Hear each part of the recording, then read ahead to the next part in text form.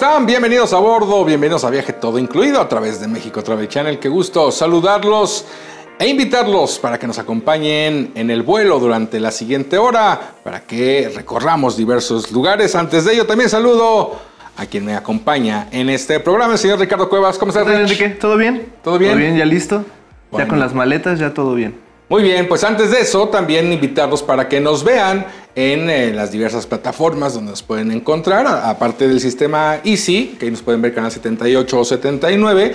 También estamos en streaming a través de Roku, de Fire TV, Apple TV, Android TV, Dailymotion y en la página de mexicotravelchannel.com.mx. Y pues también pueden seguirnos en Spotify donde tenemos playlists para tus viajes y puedes buscarnos como México Travel Channel tanto en perfil como en podcast.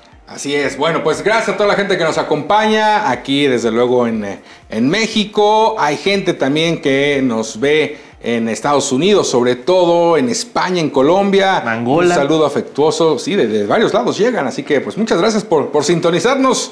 Este, y bueno, pues ahí estamos arrancando con este viaje y nuestro tema del día es uno de los turismos en donde México, eh, prácticamente en todos, pero este es líder a nivel mundial, el turismo médico.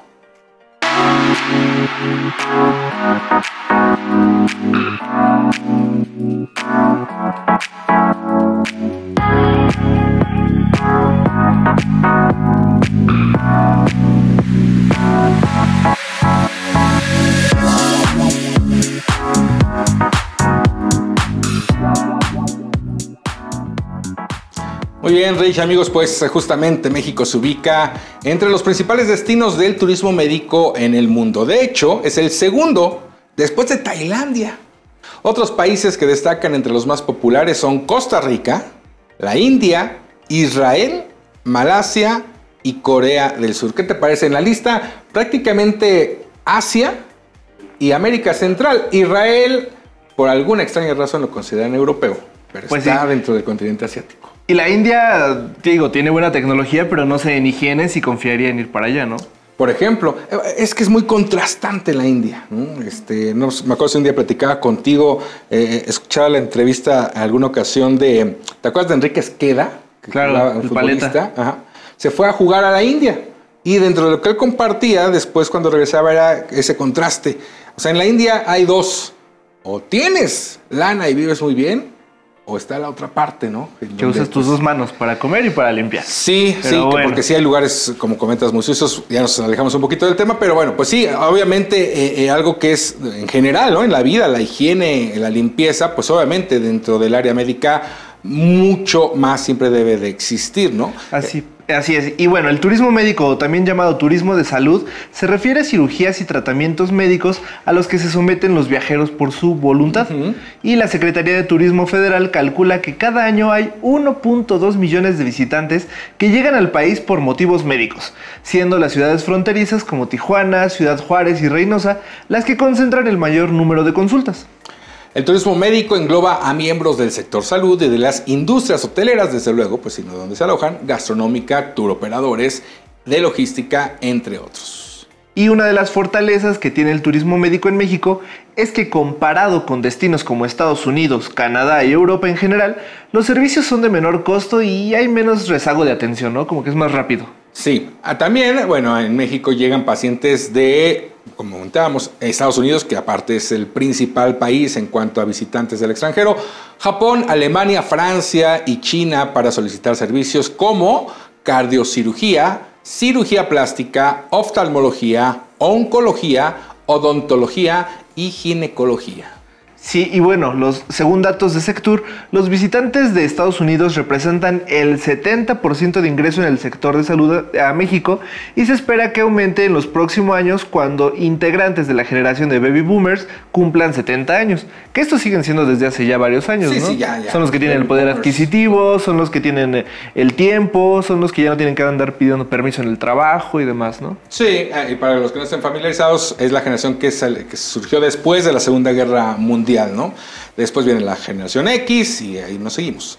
Otra razón importante del turismo proveniente de Estados Unidos es que este país tiene el sistema de salud más caro del mundo. Eso sí, Estados Unidos es sumamente caro en sus servicios médicos. También, desde luego, es muy bueno, eso sin duda, pero pues no, no, no accesible a todos los bolsillos. Así es. Y otros estados como Quintana Roo han expresado su interés en la captación del turismo extranjero, además de que se considera como un destino potencial para el turismo médico. De hecho, Cancún es considerado como el lugar eh, que mejor te ofrece el turismo médico. Fíjate, pues porque pues además, exacto, además de toda la atención médica, pues tienes la parte de vacaciones, de relajarte, porque eso también ayuda. Y que en un principio, desde luego, que no era enfocado así Cancún. Al ver esto, obviamente, pues diversas empresas, marcas relacionadas al tema de, la medicina de la salud, pues obviamente pusieron sucursales, hospitales de aquel lado, para obviamente también tener esa, esa rama eh, de turismo dentro de Cancún. Autoridades locales calculan que este tipo de turismo representa un potencial de 25 mil pacientes, 25 mil pacientes anuales para Quintana Roo. Así que bueno, pues ahí está esta parte del turismo médico. Eh, quizá muchos no lo tenían como tan en el radar eh, de qué va y en qué consiste, pero pues eh, a ver, es, fácil, ¿no? Es buscar países en donde, como ya mencionamos, que el costo de estos servicios sean realmente, porque una diferencia importante en su costo de lo que te sale en el país de origen, en este caso Estados Unidos o algunos de Europa, porque fíjate, tienen que gastar en vuelo, en hospedaje, en comidas y en el tratamiento que vayan a hacer. Y aún así, les sale más barato que hacerlo en sus países. Y fíjate, esto es un tema muy importante, el dinero, eh, el hospedaje y demás. Sin embargo, yo creo que tiene que ver mucho con México, como es la gente hospitalaria. Porque en una. traigo aquí unos datitos. A ver. Que, bueno, comentan que el 40% de las personas que vienen de otros países prefieren el país eh, bueno, prefieren a México por la atención la excelencia eh, personalizada. Luego el 32% porque el trato es más humano y luego con 15% inmediatez y costos. sí, claro, vienen a privada seguramente. No, es sin duda, no, es 100%. Pero mira, dejan al final costos y, y eso. Claro, ahora algo súper importante que sí ha pasado lamentablemente es que deben de verificar, porque no sé qué porcentaje sea de las ramas que mencionamos, pero yo diría que más del 30-40% van al tema estético. Y muchas veces no verifican que realmente sean clínicas eh, autorizadas, clínicas con un buen nivel y que lamentablemente luego hay personas que han fallecido ¿no? en, ese sentido por venir a tratar de, hacerse una cirugía estética. Entonces siempre cerciorarse de que sea pues un lugar con prestigio. ¿no? Correcto. Bien, pues ahí está el turismo médico, segundo lugar México a nivel mundial. Vamos antes de ir a la primera escala con nuestro lugar espectacular y viajamos ahora a Rusia, Rich amigos, al lago Baikal justamente encontrado allá en este país, el más grande del mundo, se ubica uno de los lagos más profundos. Se trata justamente del Baikal, que además resguarda especies endémicas. Ve, lo que les cuento. Vamos a verlo y vamos a la pausa. Regresamos. Esto es viaje todo incluido.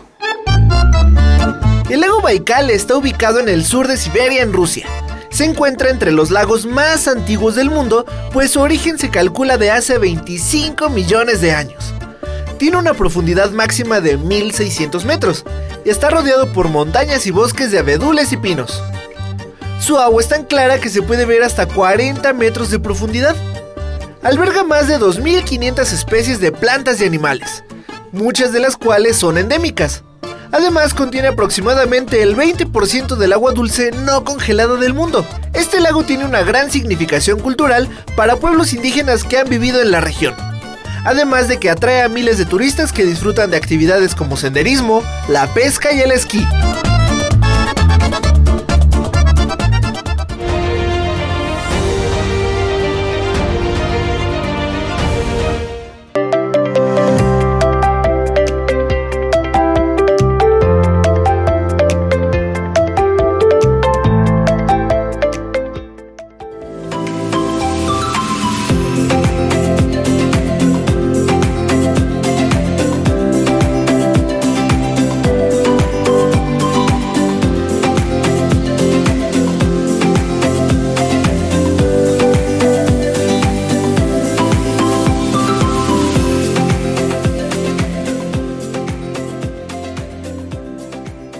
De viaje, todo incluido. Pues ya estamos de regreso, ya eh, regresamos de esta escala. Vamos a platicar de uno de los destinos más increíbles para mí visualmente, en un estado que creo que es uno de los más importantes de México, porque pues puedes llegar de todos lados ahí.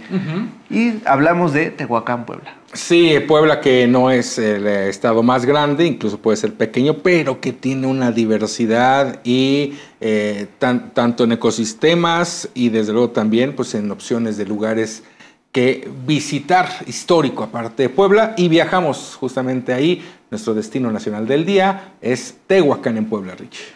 Así es, y pues bueno, Tehuacán se encuentra en el sureste del estado de Puebla y es conocido a nivel mundial como cuna del maíz por los vestigios que se han encontrado en la domesticación de este producto. Y bueno, según historiadores, estos retos... Estos restos. Estos restos. Exacto. Esto está siendo un reto. datan del 5000 antes de Cristo.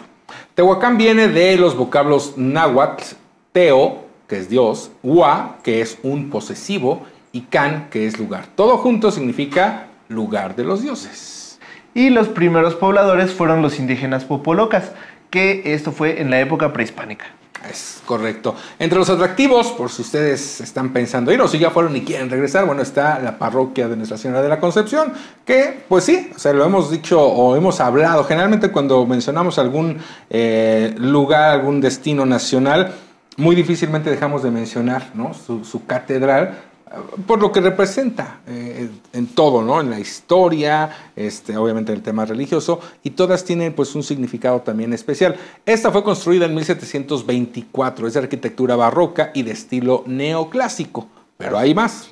Hay mucho más. Por ejemplo, el ex convento del Carmen. Es un recinto religioso del siglo XVIII donde estuvo preso Benito Juárez. Mira, ahí estuvo justamente el Benemérito de las Américas. También está el Museo Hidromineral, dedicado a la, a la historia del manantial y las propiedades minerales de sus aguas. Recordemos que el municipio es conocido a nivel mundial por su riqueza hidromineral. Cuenta con un mural que describe cómo el agua era llevada en calabozos a Tenochtitlán para el emperador Moctezuma I.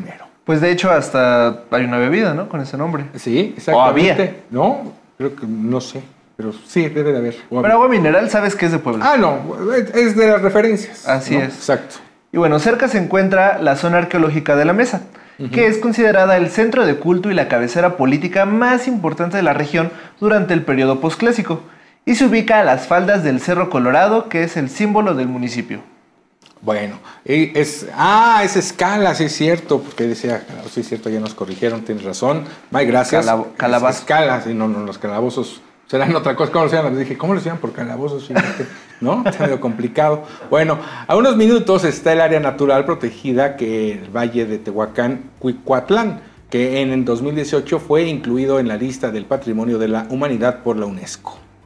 Y uno de los eventos más importantes que se desarrolla en este lugar durante el mes de octubre es la carrera panamericana, que justo pues tuvo muy buena. Que la, panamericana tuvo su gran auge, ¿no? Ya, ya tiene mucho, la verdad es que creo que esas, e, ese gran momento ya, pasó, se sigue haciendo, sigue teniendo... Pero siento que es más simbólico. la historia, pero sí, mucho más simbólico de lo que era pues ya hace algunos Más nostálgico como todo se está haciendo ahorita, ¿no? Y bueno, pues el tramo de ruta que cubre depende cada año también pues de los organizadores, ¿no? Así es. Eso sin duda. Pero bueno, ahí es parte de, lo que ofrece este lugar, Tehuacán Puebla, conocido, fíjate, eso es importante, a nivel mundial como la cuna del maíz. Sí, por toda la, lo que se encontró en los vestigios, o sea, toda la forma en que lo usaban, la forma en que, le daban diferentes eh, pues, objetivos, ¿no? Exactamente.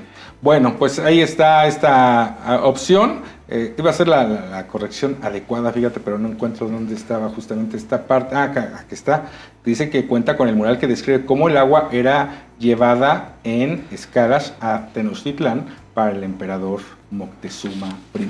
Así es. Y pues bueno, en esta zona eh, que ahora es Patrimonio de la Humanidad por la UNESCO, en, Tehuacán, la verdad es que es, el que comentaba que es uno de los lugares con el mejor, uno de los mejores paisajes de México, yo creo. Es, es algo semiárido. ¿Tú fuiste? Sí, es semiárido. Tiene eh, pues muchos cactus enormes e incluso se puede ver muchas águilas reales. Entonces está muy padre. Sí, eh, bueno, eh, es que aparte cómo va cambiando lo que decíamos el ecosistema, ¿no? Porque, digo, entre Tlaxcala, Puebla se asemejan en ese sentido, pero llega un momento en que cambia a lo boscoso, claro. Este, pero sí tiene estas zonas también semiáridas. Y hay otras partes que están súper eh, con neblina. Sí, también. Y, eh, y que no son tan altas como Ciudad de México, ¿no? O algunas otras ciudades, pero que aún así se mantienen No por la si- humedad, ¿no? O sea, Sí, sí, sí. aunque no sean tan altas, la humedad las hace con neblina. No sé si has tenido oportunidad de volar sobre Puebla ¿Mm? en algún viaje o demás. ¿Cómo se ven las nubes cuando chocan con la sierra volcánica? Chocan y se van para arriba. Sí, sí, sí. O sea, ahí divide por completo. Correcto. Bueno, pues ahí está esta opción. Vamos ahora eh, con, eh, bueno, saludos a la gente desde luego de Puebla y nos pasamos ahora a la siguiente cápsula. Nuestro México asombroso. Veremos un lugar sacado de ciencia ficción. ¿A poco sí? Vamos a ver, muchas personas pensarían que se encuentra en un país muy, muy lejano, ¿no? Pero no, Rich. Es, eh, conozcamos, vamos a ver una cueva impresionante en Chihuahua. Vamos. Las cuevas de Naica se encuentran en el municipio de Saucillo, en Chihuahua. A 300 metros de profundidad se formaron las selenitas, columnas de yeso transparentes. Pesan 55 toneladas, tienen entre 1 y 2 metros de ancho y miden 18 metros de largo. Son las más grandes del mundo. En el año 2000 fueron descubiertas por trabajadores de una zona minera. Al interior de estas cuevas hay una humedad del 90% y de acuerdo con investigaciones, se formaron hace millones de años por actividad volcánica. Desafortunadamente se encuentran cerradas al público. Solo pueden ingresar científicos y estar poco tiempo para evitar deshidratarse.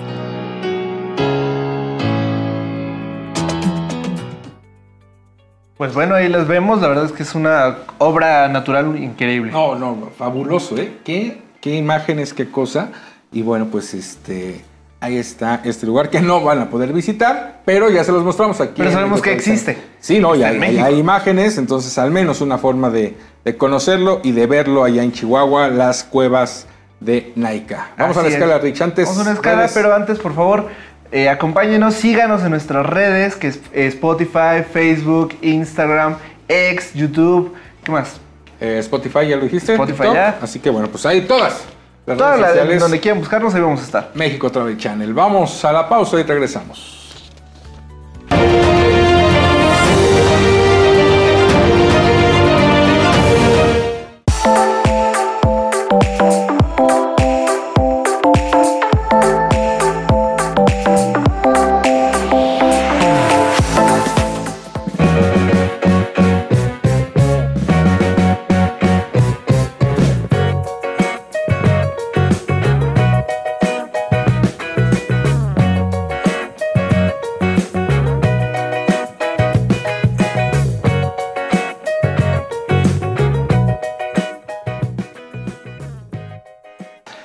Bien, estamos de regreso aquí en Viaje Todo Incluido y estamos viajando a nuestro destino internacional del día. La, la canción, la, realidad- la melodía más bien que estaba de fondo, digo, la relación no creo que tenga ninguna, pero se bien, ¿no? O sea, más, más o menos como con un tema medio paradisiaco. Que, Te invita pues, a divertirte. Sí, y sí, es, sí tiene litorales, justamente este lugar del que, híjole, muy poco creo que se habla en general, muy poco se conoce, es un país muy pequeño. Nos referimos a Brunei, que se encuentra en Asia. Eh, ahorita les decimos bien más o menos la, ubicación justamente de este lugar. Tiene menos de 500 mil habitantes. Vemos la majestuosidad en cuanto al área verde. Y bueno, pues justamente hablamos del destino internacional que es Kuala Belait. No es la capital, no es su capital, pero bueno, esta- este lugar que se encuentra ubicado en el suroeste de este lugar. Kuala Belait es una ciudad que combina la riqueza cultural de la región con la belleza natural de su entorno. Ahí vemos esa mezquita, está espectacular, Rich. Sí, sí, se ve increíble. La mayoría es selva tropical, ¿no? Lo que vemos. Eh, bueno, esta ciudad es la segunda más grande de Brunei, como comentabas, no es la capital, y seguida de Bandar Seri Begawan, que es la capital. Kuala Belait significa la boca del río de Belait, que es esto es en idioma malayo. Que es el idioma oficial también, justamente. Malasia. de, de este lugar de Brunei. Su nombre proviene de Kuala, que quiere decir la desembocadura de un río, el río Belait, que es donde se ubica justamente esta ciudad. Así es, y ofrece una arquitectura tradicional, hecho que puede distinguirse en sus edificios tradicionales de madera y tejados de paja. Y en lugares como la Casa de la Cultura de Kuala Belait, donde se exhiben eh, artesanías locales y exposiciones sobre la tradición y la cultura de la región.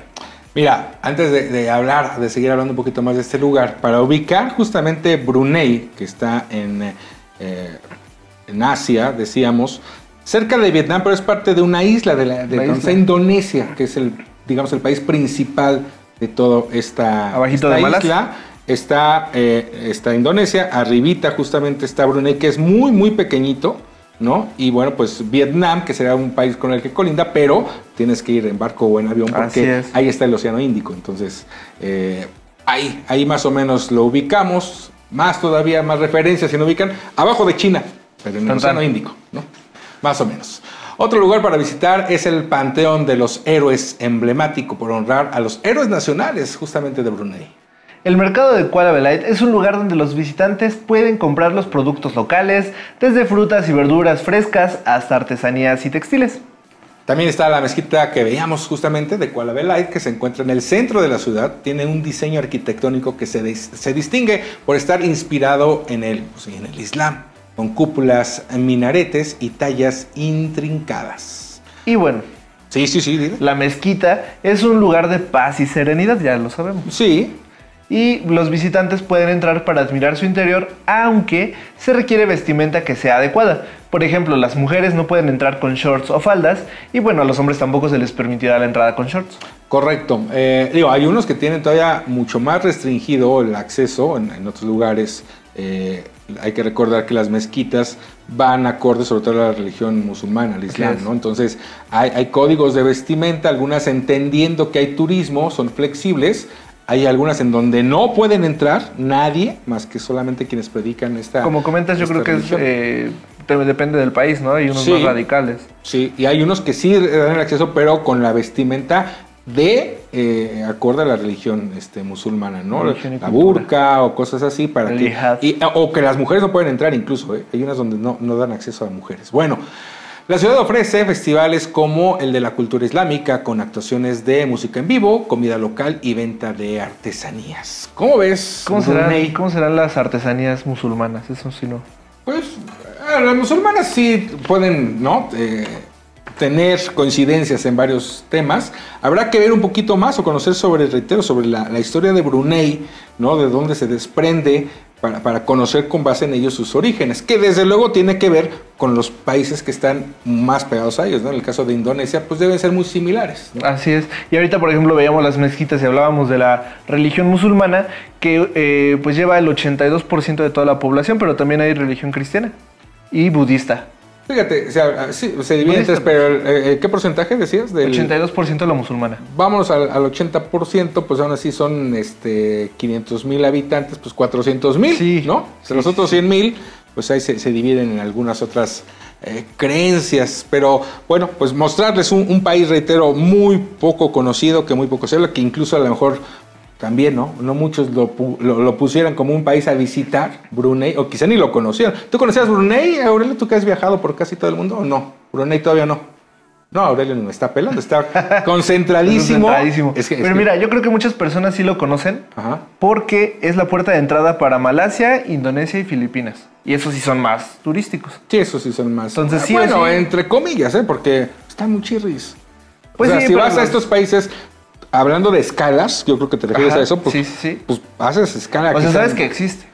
Sí, de, de Asia, obviamente, cuatro podrían llevar mano, ¿no? De, de esa parte de- del área este, no occidental, sino ya, ya- el este que es China, Japón, Sí. Corea y la India, ¿no? O sea, son los que llevarían mano en ese sentido. Después Filipinas, el mismo Tailandia que decíamos, ¿no? Y, y ya lo que es el Medio Oriente, los que, Arabia Saudita, este, Oman, que hemos hablado de Oman en este programa. Decíamos, ahí está Israel, pero que Israel lo ponen dentro del continente europeo. Europa. En fin, Lo que sí se me hace curioso es que, bueno, aquí sigue habiendo sultanes. y hay varios más, ¿eh? Donde, Sí. donde se maneja Y que esa y parte del ahí, sultán. si buscan en internet, pues van a ver cuántas esposas tiene el sultán y demás. Que, en la religión musulmana está permitido, ¿eh? sí, claro. Tener siete, ocho esposas y no hay, problema en esa circunstancia. En fin, pues cada quien con sus culturas, con sus creencias, con eh, lo que manejan. Vamos ahora con nuestro itacate, que es el itacate, pues es comida callejera, ¿no? Que, encontramos en, en las calles de diversas ciudades, que este más Itacate, digo, desde luego que lo vas a encontrar en la calle, ¿no? Sí, sí, sí. Pero que es mundialmente famoso por muchas cosas, Rich. Sí, sobre todo por la forma de preparación o por la forma de calentarse, ¿no? Sí, y porque muchos dicen que quienes, eh, no me acuerdo el nombre de quienes hacen esa práctica de leer el café, tiene que ser también ah, ok. un café turco. Sí, bueno, pues bueno, la café es, el café, perdón, es una bebida que da energía y que se convierte en un ritual por la forma de prepararse en cada destino turístico, porque siempre es diferente. En Medio Oriente el estilo turco es una forma peculiar de atraer a los amantes de esta bebida. Te contamos cómo se prepara.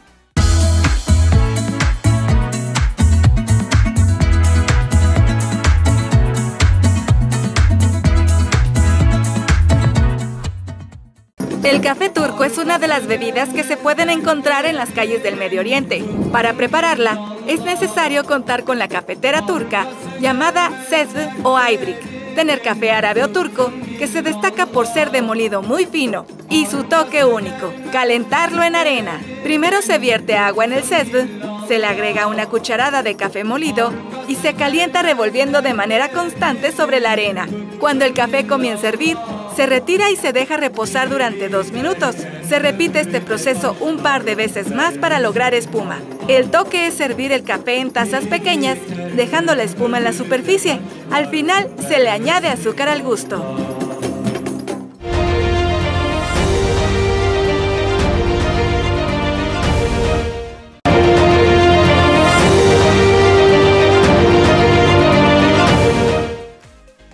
Bien, estamos de regreso aquí en Viaje Todo Incluido a través de México Travel Channel. Rich, amigos, pues eh, próximamente, ya en unos días, eh, la ciudad de León, Guanajuato, va a estar recibiendo un evento que ya empieza a ser tradición, es un incluso referente justamente de este tipo de eventos. Me refiero al Festival Internacional de Globo, que estará realizando justamente a mediados de este mes. Y para ello, justamente saludamos vía Zoom a Escandra García, directora de operaciones del Festival Internacional de Globo 2024 allá en León, Guanajuato. Escandra, ¿cómo estás? Bienvenida a Viaje Todo Incluido.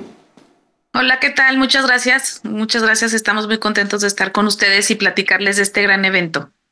Pues sí, sin duda lo, que mencionaba, ¿no? Ya más que posicionado, eh, internacional, diversos países que estarán dando cita también, aparte de todo el eh, turismo y, visitantes nacionales que estén llegando. ¿Cómo, cómo han preparado esta, esta edición 2024? Esta edición eh, para nosotros es muy importante. Tenemos el Festival de Festivales, que es el festival más grande de globos aerostáticos de Latinoamérica. Somos uno de los festivales más importantes en el mundo de globos aerostáticos. Es un gran evento donde todos los visitantes pueden estar caminando alrededor de estos gigantes donde tendremos figuras especiales que vienen por primera vez a México o que incluso tienen sus primeros vuelos que se están estrenando su globo en León.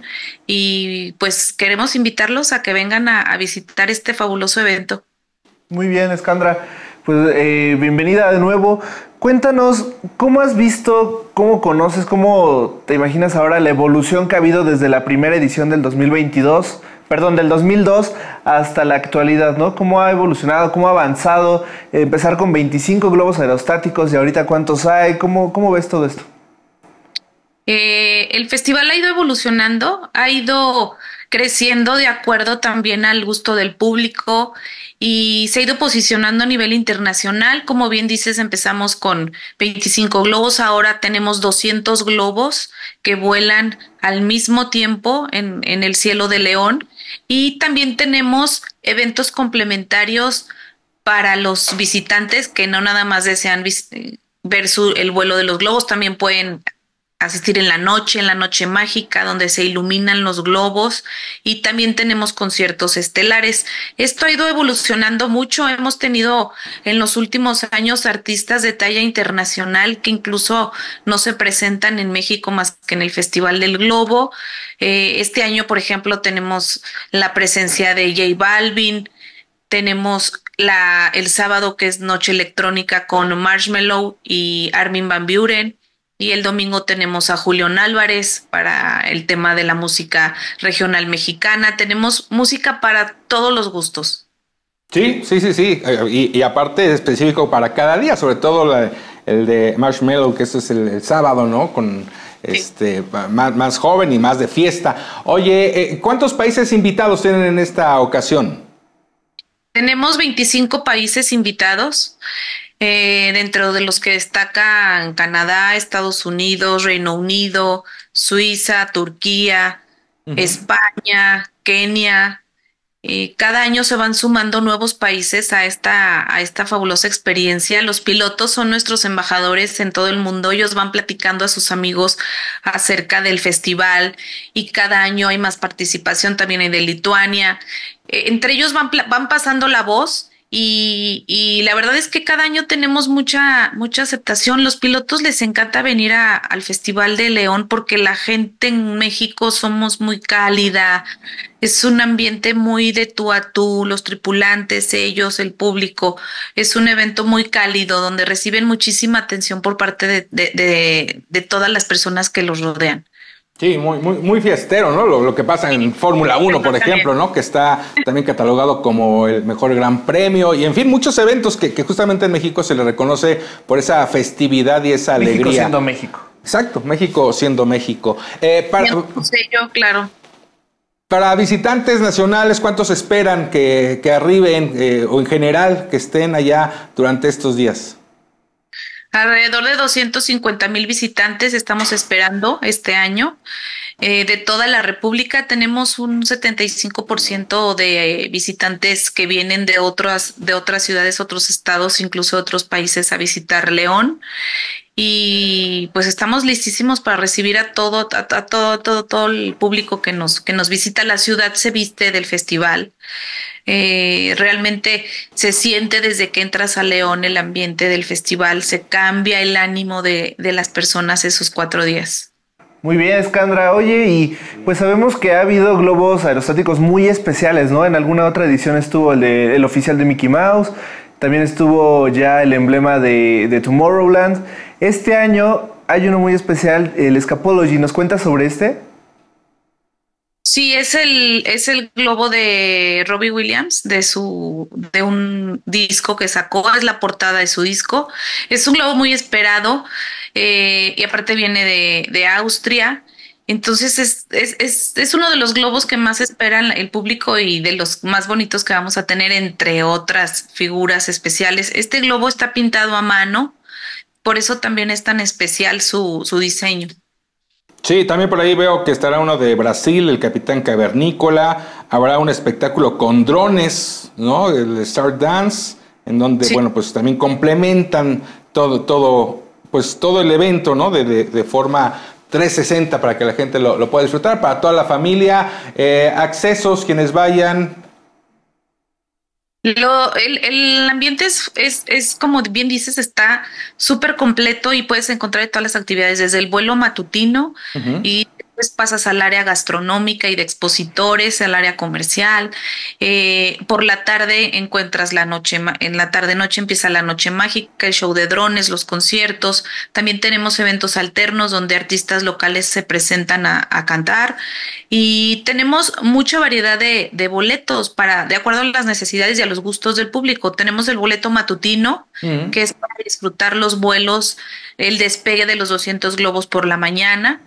Okay. Tenemos boleto Day Pass, que es un boleto muy completo porque te incluye el vuelo matutino, pero también te incluye la noche mágica y el concierto. Te incluye todas las actividades de todo el día, uh -huh. el Day Pass.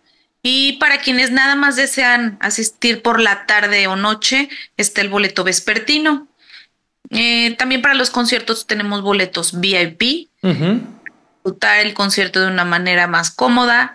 Y tenemos este año por primera vez el abono FIG, que este abono te incluye los cuatro días del festival y puedes asistir a, a los eventos que tú desees. Y es, es, es, un precio muy que conviene mucho al, al visitante porque no, no corresponde a, a, como si compraras los cuatro días del evento, es un precio más accesible, sí, claro. pero asistir las mañanas y las noches que, deseas. Decías la página para compra de boletos. ¿Tiene página también el festival o, ahí no puede, ahí no se están vendiendo? Sí, tenemos página, pero te va a redireccionar. La redireccionan. A, ticket, pero tenemos todas nuestras redes están como Fig León. Estamos en todas las redes y nuestra página se llama vivefig.mx. Ahí también pueden encontrar toda la información, el programa, es altamente recomendable que nos sigan en redes porque ahí se dan las novedades y también las recomendaciones para que disfruten al máximo el festival. Perfecto, pues ahí está una muy buena opción, aparte pues es el puente, que evidentemente fue pensado justamente con esa circunstancia para que la gente pues pueda eh, moverse, trasladarse, en ese caso a León, Guanajuato. Escandra García, directora de operaciones del Festival Internacional del Globo León, Guanajuato 2024, gracias por haber estado con nosotros. Muchas gracias, los esperamos. Claro que sí, con mucho gusto, gracias. Muy bien, pues ahí está este evento ya tradicional, 22 años. ¿Ha sido? 22 años todavía, no, fíjate, León sí, pero al festival no. Sí. Ya iremos en algún momento.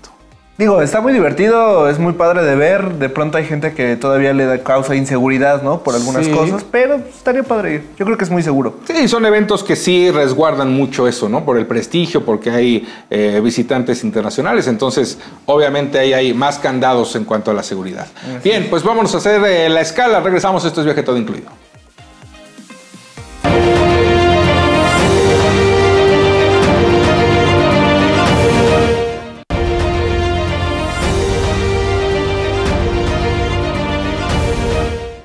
Amigos de México Travel Channel, ¿cómo están? Nos encontramos aquí con el doctor Omar Villarreal. Él es director general de la clínica Libérate Laguna. ¿Cómo está, doctor? Muy ¿Qué buenas tal, tardes. Mayra? Buenas tardes. Qué gusto saludarte aquí. Estamos nuevamente en la Ciudad de México. Muchas gracias por estar con nosotros, doctor. Y bueno, eh, vamos a hablar de un tema muy especial, eh, muy importante para la actualidad, y es sobre adicciones, doctor. Coméntenos cuál es el panorama que usted ve actualmente en México sobre, sobre esta situación. Bueno, creo que definitivamente ha ido creciendo. Ya se veía venir, venimos saliendo de una, de una pandemia, estuvimos muchos, mucho tiempo en, pues se pudiera decir, aislados. Y todo esto también nos lleva a tener ansiedades, depresión y todo lo que viene eh, eh, todas las problemáticas asociadas después de esto, pues una de estas de lo que avanzó y lo que creció fue el alcoholismo. Y, de, y del alcoholismo vienen las adicciones a sustancias psicotrópicas. Y, y definitivamente empezamos a, a, abusar o la gente empezó a abusar de, de sustancias que le generaran placer. Y hoy en día se ha visto pues en el norte del país creciendo, pues lo que son drogas sintéticas y van cada vez aumentando, o sea, perdiéndole el miedo a las nuevas drogas y cada vez empiezan a experimentar cosas más fuertes. O sea, en este sentido es que ya no era, apenas estábamos acomodando un programa que fuera acorde a esta década, a esta, y, y ya, ya venían chavos con esta parte de, lo, sintético, que, es mucho más fuerte. Y justo empezaron a evolucionar tanto y apenas, no hace mucho nos encontramos con el fentanilo. ¿Qué nos puede decir al respecto y cómo también ahora hay otras nuevas drogas? Claro, yo recuerdo hace pocos años, hace un par de años que hablaba de que venía el fentanilo y lo veíamos tan lejos, que, que, es, una, es una sustancia preocupante, digo, de alguna manera porque genera placer, demasiado placer, es un opioide, bueno, genera la sensación analgésica y aparte es demasiado adictiva. Y, es más, la probabilidad, por ejemplo, del consumo de marihuana es el 18% al 25% de que la gente se enganche a un 92% del, del primer consumo. O sea, que si hablamos de que 10 chavos pueden consumir marihuana y uno se va a hacer adicto. Y acá, si 10, 6 o más se, vuelven adictos. Entonces, en este sentido es que es muy peligroso porque la ahora sí que antes era como un mito. Cuidado Era porque te puedes enganchar a la primera. Ajá. Ahora es real. Si te, si te puede- si consumes a la primera, el 92% de probabilidad de que te de que guste. te enganches. Así ¿Y es. ahora qué nuevas drogas hay? Vienen los nitacenos, que esto también es algo que, que está muy lejano. Los nitacenos tampoco son nuevos, ni, ni el fentanilo es nuevo. Sabemos que más bien son drogas de moda. O sea, que, que vienen eh, atreviéndose a consumirlas. O sea, o, a tenerlas más al alcance, pero obviamente ya existían. El fentanilo, eh, todas las, las eh, eh, lo- los sedantes, todos los este, tienen fentanilo, ¿no? La- las anestesias tienen fentanilo, no todas, pero la gran mayoría.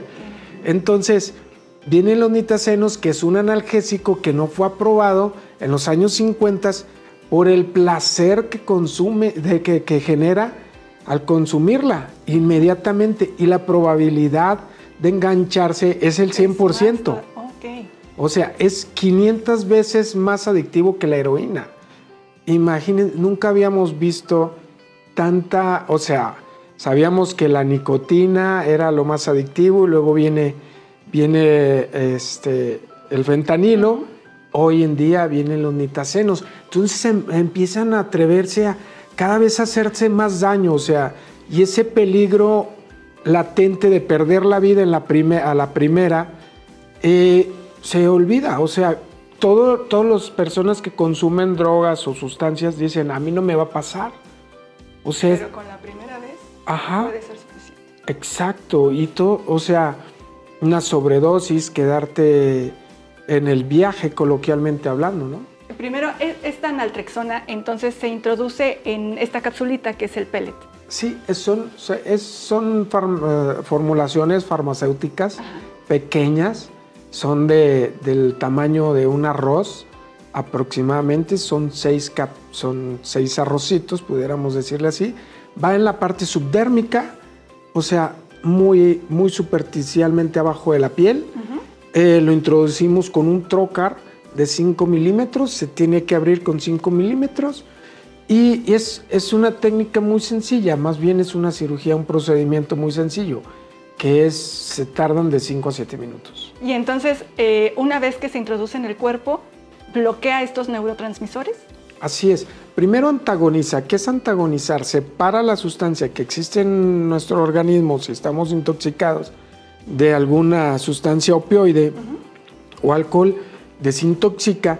Y obviamente también es importante decir, porque dicen, bueno, es que cuando, cuando en Estados Unidos o en la frontera de Tijuana les, eh, las ambul- la Cruz Roja o todos los, los tienen, les ponen eh, eh, el spray de nar- Narcan o, o la nalexona, viene un síndrome de abstinencia.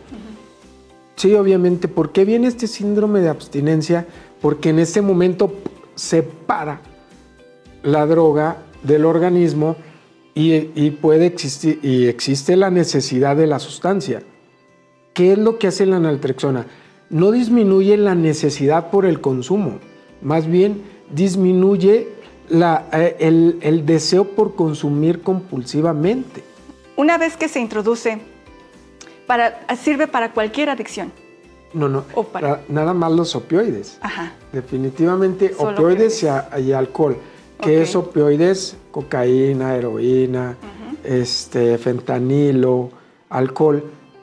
¿Con qué no funciona? Con nicotina, con marihuana, este, o sea, nada que sea THC y todo esto no funciona.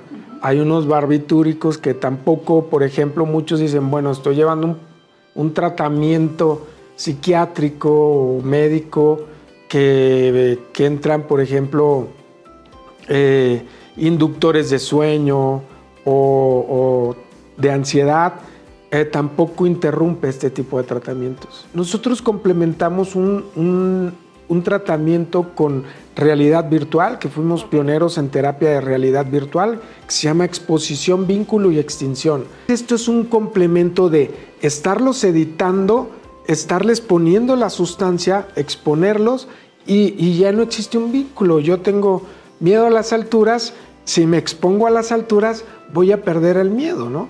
Entonces, en este sentido es, lo acompañamos con terapia de realidad virtual, también fuimos pioneros en, neurofeedback, también fuimos pioneros en estimulación magnética transcraneal y siempre hemos tratado de, eh, de buscar este tipo de alternativas más sofisticadas que, que puedan ayudar o facilitarle a los pacientes la mayor probabilidad de éxito. Porque, ojo, nos dicen, no, no, pues es que yo conocí a, a Juan y no le funcionó. Tampoco Dependiendo de cada quien. Exacto. Trabajamos quien. con enfermos, no con enfermedades. Y justo para eh, ayudar a la población, a la, a la audiencia que nos ve, tiene un obsequio para nuestra audiencia. Sí, claro. Eh, les vamos a, a apoyar y a regalar a, a las personas que, que lo requiera, realmente lo requiera. Y pues bueno, este, estamos dispuestos a que también lo pruebe y, y- y dejarlo al alcance de, de nuestra sociedad. ¿no? Y este, este tratamiento lo vamos a dar en redes sociales, esténse pendientes. Y pues bueno, muchísimas gracias doctor. Esto es a México Travel Channel. Gracias por habernos acompañado. Gracias a ti, Mayra. Gracias a Travel por la invitación. Muy bien, Rich, amigos, pues ahí está esta entrevista interesante que hizo nuestra jefa de información, Mayra Gómez, con el doctor Omar Villarreal y este tratamiento, el pellet de naltrexona, que justamente es para, eh, pues que algunas personas que lamentablemente hayan caído en algún tipo de adicción, ahí se dijo eh, puntualmente en cuáles, pues puedan tener una alternativa para no continuar pues en esa circunstancia. Así es, y pues bueno, hay que estar atentos porque, como lo mencionó, pues vamos a estar eh, regalando un, Un tratamiento, ¿eh? Sí, sí, sí. Ahora sí que un buen, buen regalo. Vamos a poner dinámica en redes sociales. Este, y, y bueno, pues ojalá encuentre- encontremos a alguien que, que lo aproveche, ¿no? Y que podamos eh, ayudar desde algún escenario para que salga de esta circunstancia. Bien, pues tiempo de despedirnos. Gracias por habernos acompañado. Recuerden seguirnos en todas las redes sociales. México Travel Channel, así estamos. En Facebook, Instagram, YouTube, TikTok, Spotify y muchos más. Gracias, Rich. Gracias, Enrique. Vámonos, a nombre de toda la producción, soy Enrique Rivera, estamos aterrizando, esto fue Viaje Todo Incluido, hasta la próxima.